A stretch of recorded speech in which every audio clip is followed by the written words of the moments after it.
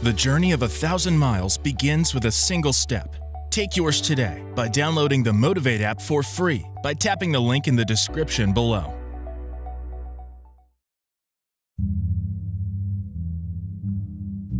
The darkness. The sun doesn't shine every day. The storms will come. There are times when the nights will be long and dark and you will be alone. There will be times when the darkness seems to consume everything. But don't let it consume you. Even in the darkest times, even in the strongest storms, even when the sun is blotted out and the world is falling apart, the darkness cannot extinguish your light. You. Your will.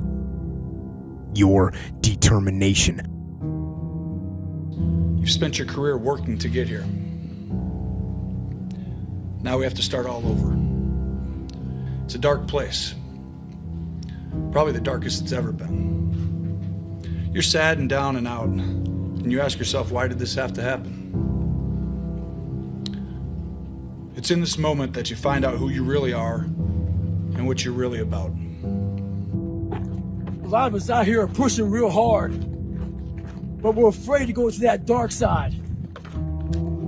In your mind, when you push real hard, you have this door in your mind. And a lot of us don't want to open that door.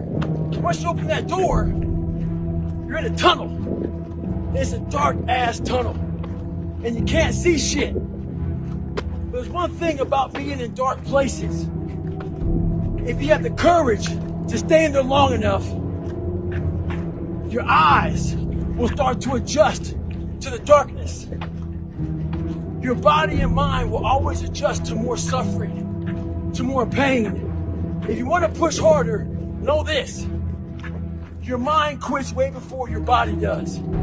So you have to be willing to go way into that darkness and find more yourself.